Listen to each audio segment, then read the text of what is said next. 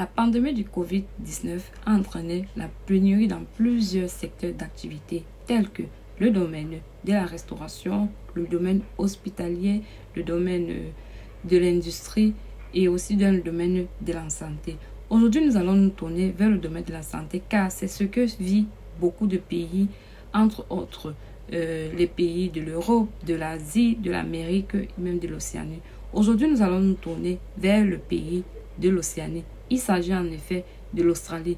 L'Australie actuellement vit une pénurie de main-d'œuvre dans le domaine de la santé qui fait en sorte qu'aujourd'hui le gouvernement a signé un accord, un mémorandum entre, entre les maisons de recrutement des agents de santé et le gouvernement. Donc, ce qui fait que ça, c'est le nouveau type de visa qu'ils ont mis en place et la nouvelle procédure. Qu'est-ce qui ça revient à dire que ça revient à dire que il y a des maisons les care homes en anglais comme ça se dit les care homes ont signé des agréments avec euh, le gouvernement afin que euh, le gouvernement puisse leur faciliter les procédures de visa pour faire venir les employés de, étrangers à l'extérieur de l'Australie. Aujourd'hui, nous remarquons que il y a quelques home care qui ont déjà signé cet agrément. Donc, il n'y a pas encore, la liste n'est pas encore longue. Donc, prenez action et allez consulter les différentes, euh, les différentes qui ont déjà signé. En effet, il s'agira de faire quoi? Il s'agira déjà de vous d'aller faire votre skill assessment une fois que vous aurez votre skill assessment, vous allez aller voir ces home faire postuler pour les différents emplois. Une fois que vous allez avoir votre emploi, ça sera facile pour vous de pouvoir, euh, de pouvoir entrer en Australie. Alors, je n'ai même pas, je me suis pas. Pour ceux qui ne me connaissent pas, moi, je suis une filiale. Je partage sur cette chaîne les opportunités de, voyage à l'étranger, des études à l'étranger et bien d'autres. Aujourd'hui, dans cette vidéo, je vais vous amener pour vous montrer comment faire votre skill assessment. Une fois que vous aurez votre skill assessment, je vais vous montrer comment faire vous pouvez appliquer les différents types de visas afin de pouvoir intégrer le sol australien. Même si vous n'aviez pas d'offre d'emploi, il y a des possibilités d'entrer avec votre diplôme d'aide-soignant ou bien de d'infirmière ou bien caregiver. Donc, vous n'avez pas besoin, même pour ceux qui n'ont pas de, de diplôme et qui ont l'expérience sur cette vidéo, ça, ça vous concerne. Alors, si c'est quelque chose qui t'intéresse, abonne-toi, active la code de notification. Maintenant, tout de suite, je vous amène sur le site comment faire votre skill assessment. Il faut savoir que une fois que vous aurez fait votre skill assessment, ça sera déjà une bonne opportunité pour vous de pouvoir entrer, entrer en Australie. En effet, avec votre skill assessment, ça sera un peu facile pour vous. Vous pouviez déjà appliquer dans les différents, aux différentes offres d'emploi. Il suffira juste de mettre dans votre CV que vous avez votre skill assessment, vous avez votre test de. Ainsi, ça sera facile pour vous de vous faire recruter par les agences de recrutement ou bien les care. Alors, sans plus tarder, je vous amène avec moi sur les différents sites et je vous montre comment faire votre skill assessment, les conditions à remplir. Ainsi, je vais vous montrer comment faire vous allez appliquer. Une fois que votre skill assessment sera positif, ça sera une très grande porte pour vous, c'est-à-dire 78% euh, d'avoir le visa. Vous allez juste appliquer pour les différents types de visas que je vais démontrer dans cette vidéo. Alors, sans plus tarder, on y va ensemble derrière mon écran. Ok les amis, euh, nous voici sur le site comme vous constatez acwa.org.o. Ce que je vais faire, je vais traduire directement en français afin que nous puissions lire rapidement. Maintenant, on dit accord de travail de l'industrie des soins aux personnes âgées. Ça, c'est ça, c'est pour les personnes qui ont le diplôme pour les soins des personnes âgées ou alors qui ont une expérience dans ce domaine. Alors, on va descendre en voyant que l'ACWA est l'autorité de l'évaluation des compétences pour la profession de soignant âgé ou handicapé Enzo, Enzo, blablabla, dans le cadre du nouvel accord de travail de l'industrie des soins aux personnes âgées. L'accord qui est industrie, voilà, vous allez lire. On dit, vous pouvez savoir sur l'IR. Maintenant, dit, les demandes d'évaluation des compétences pour cette profession sont évaluées selon les critères suivants qualification pertinente ou expérience de travail pertinente. Monnaie. Veuillez noter que l'ASENA n'évaluera pas les compétences en anglais dans le cadre des évaluations des compétences dans cette profession. Cependant, pour répondre aux usages de, Les migrants potentiels devront fournir la preuve de leurs compétences en anglais dans leur demande de visa au ministère de l'Intérieur. On dit cette page est en cours de construction. Il faut savoir que c'est un programme qui a été lancé et actuellement, ils sont encore en train de, de mettre sur pied. Donc, ça n'a pas encore été opérationnel. Mais vous pouvez prendre avantage de ça, de l'annonce qui a été faite et du site qui est déjà en train d'être préparé pour vous préparer pour pouvoir faire cette votre skill assessment. Ok, on va lire. Un aide un, aidant âgé ou handicapé est une personne qualifiée ou expérimentée dans la prestation des services centrés sur la personne aux personnes qui peuvent avoir besoin d'aide en raison de leur bienveillance ou d'un handicap. L'objectif principal du rôle est de fournir un soutien émotionnel des soins de... Bon, vous allez lire les professions. Si peut-être vous aviez, vous êtes dans l'aide de procès. D'autres tâches peuvent inclure l'entretien ménager général, l'aide ménagère comme la préparation de la nourriture, l'aide à l'hygiène personnelle et, et l'habillage.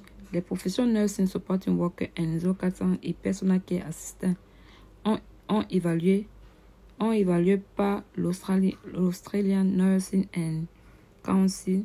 Veuillez consulter le site web pour connaître connaître les critères d'évaluation des compétences pour ces deux professions. Donc, ça, c'est pour juste ceux des caregivers, les, ceux qui font les, qui donnent l'assistance aux personnes âgées. Maintenant, pour ceux de les, aides soignantes et de, des nurses ou bien des infirmiers ou, des, ou bien des, des sages-femmes, infirmières et autres, ceci, ce n'est pas pour vous. Je vais vous amener dans le site par pour eux. Maintenant, on continue. Remarque, on dit bon titre professionnel courant. Les titres de profession de poste courant pour la profession de soigner, de soignants âgés ou handicapés comprennent travail de soins aux personnes âgées. Donc ça, c'est différent. Si vous avez un travail avec des différentes positions, sachez que ceci vous concerne. Travailleur de soins aux personnes âgées, travailleur de soins aux personnes handicapées, travailleur de soins personnels soignants, soignants personnels, travailleur de soutien individuel, travailleur de soutien aux personnes handicapées, travailleur de développement et de soutien aux personnes handicapées, travailleur de soutien communautaire, âge à vie, âge à la vie pour les personnes handicapées, travailleur de soutien à domicile, soignant, soins communautaires, travailleurs, aide à domicile, aide à domicile, Veuillez noter que le fait d'avoir votre titre de poste dans la, liste, ne signifie pas nécessairement que votre expérience de travail est pertinente. Veuillez vous référer à toutes les, à toutes les informations pertinentes.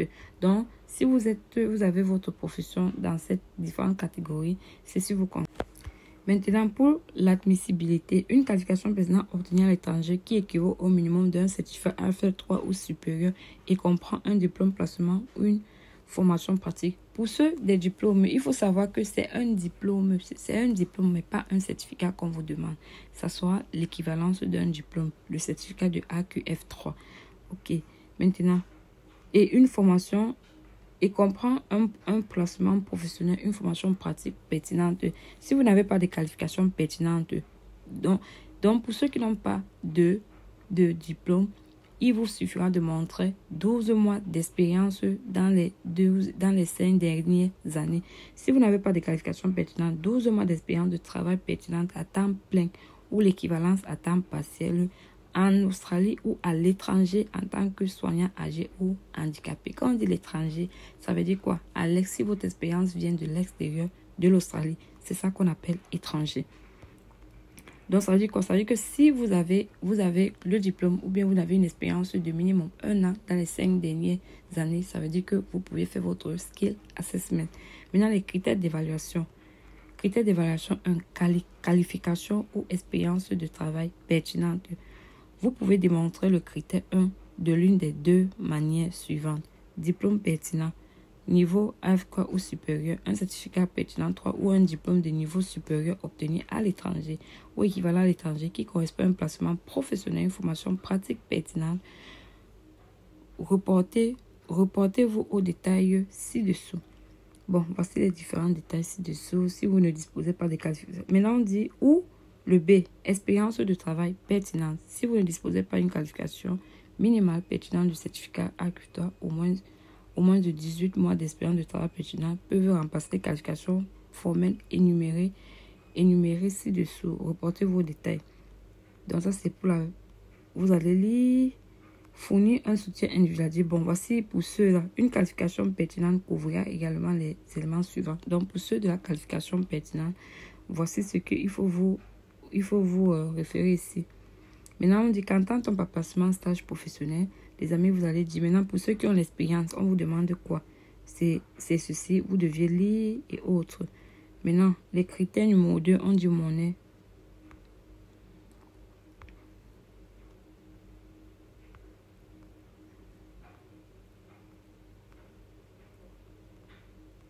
Maintenant, on dit les listes de documents à fournir. Tous les candidats, minimum trois documents. On dit minimum, vous devez fournir au moins trois documents. Identité, certificat conforme la page de biographie de votre passeport, copie certifiée conforme de deux autres pièces d'identité officielles. Bon, voici ce que vous devez fournir. Qualification du cas échéant, expérience dans l'industrie, le cas échéant. Maintenant, monnaie du secteur, preuve de qualification pertinente avec date d'émission au cours des quatre dernières années ou lettre de l'employeur, également connue sous le nom de déclaration de service indiquant au moins trois mois d'expérience de travail pertinente au cours des 18 derniers mois. Bon, voici les différentes autorisations d'agence. Si vous désignez un agent de migration, un formulaire de Donc, ça veut dire que si vous passez par un agent, une agence de d'immigration, vous deviez montrer l'autorisation d'agent. Une pièce, autre pièce justificative, c'est là. Preuve par exemple d'inscription professionnelle, adhésion dans votre pays de formation ou dans un pays dans lequel vous avez travaillé. Bref, voici tous les... Maintenant, on dit comment déposer une demande.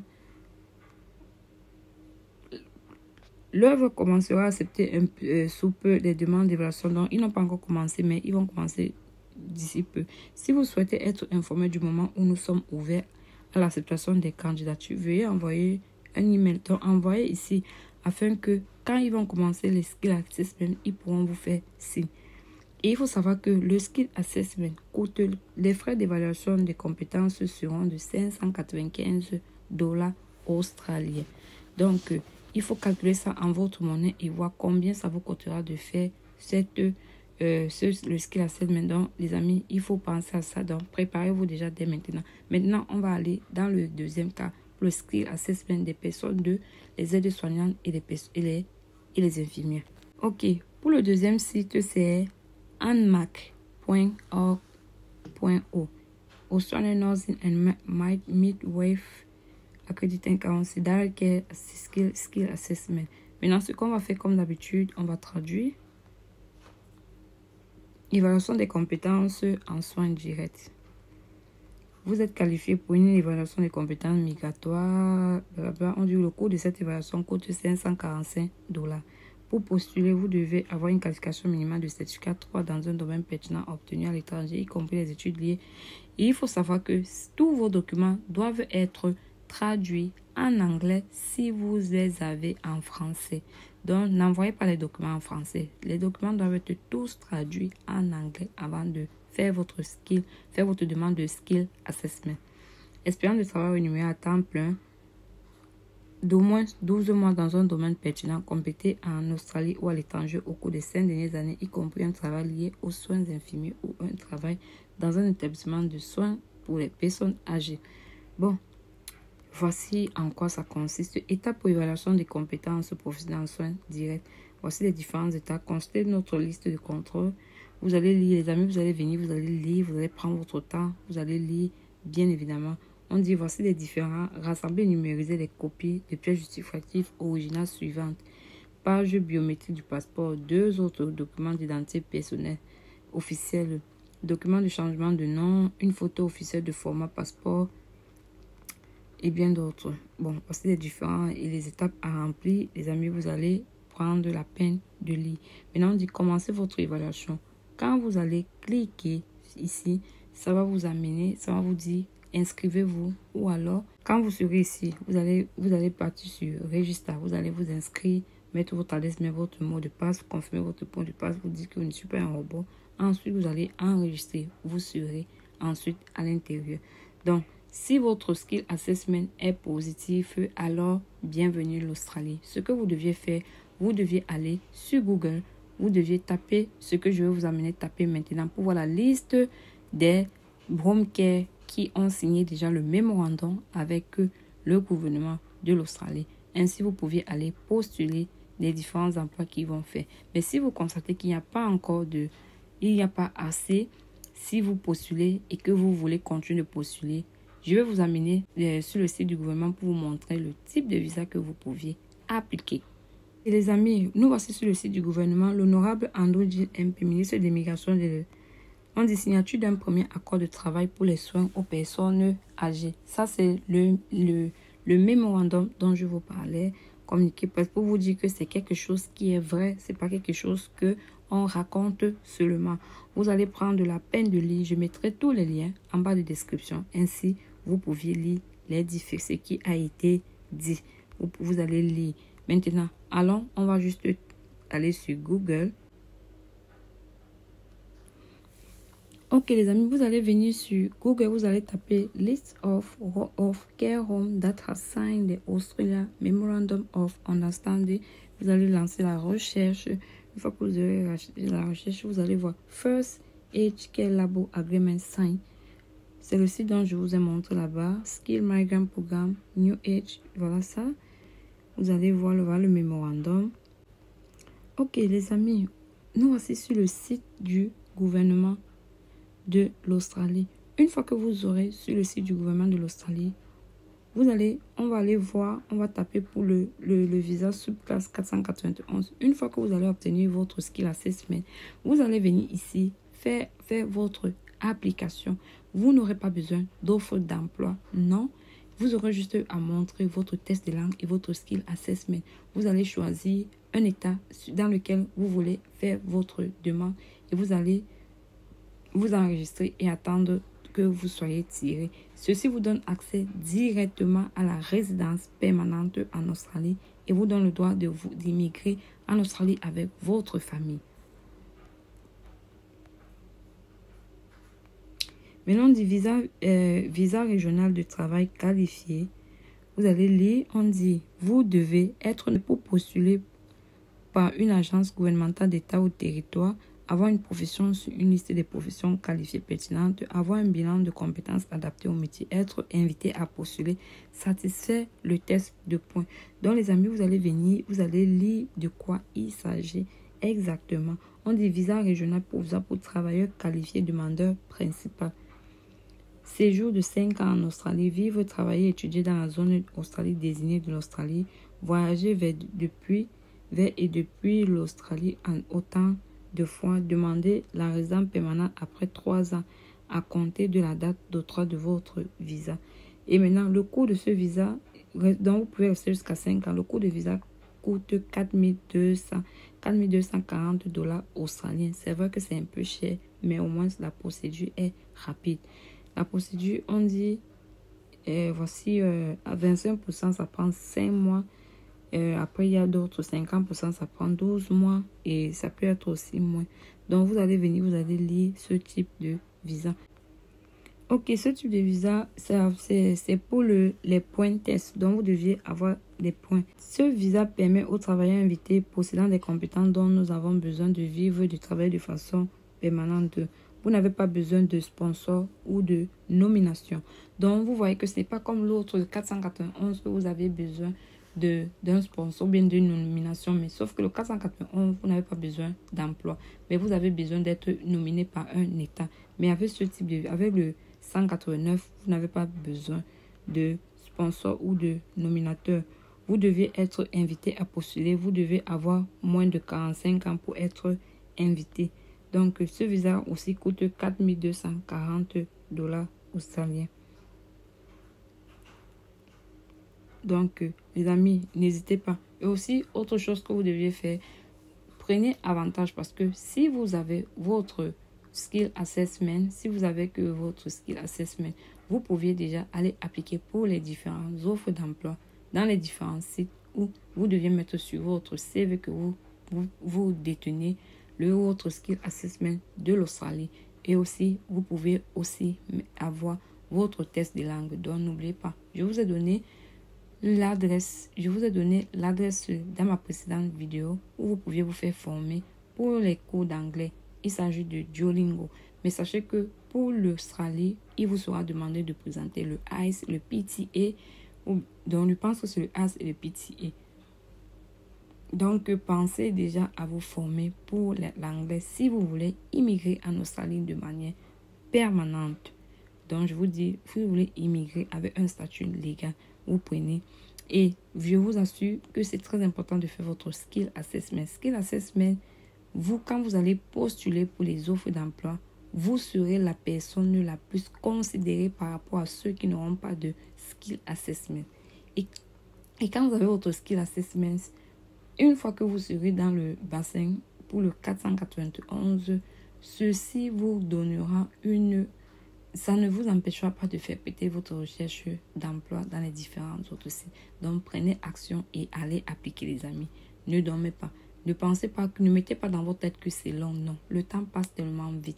Une fois que vous aurez votre skill assessment, vous faites, vous allez voir les tirages se font de manière constante. Une fois que vous êtes tiré, c'est comme ça que vous aurez votre visa pour immigrer en Australie avec votre famille. Ne restez pas seulement focalisé sur les offres d'emploi. Non, on ne migre pas seulement avec les offres d'emploi.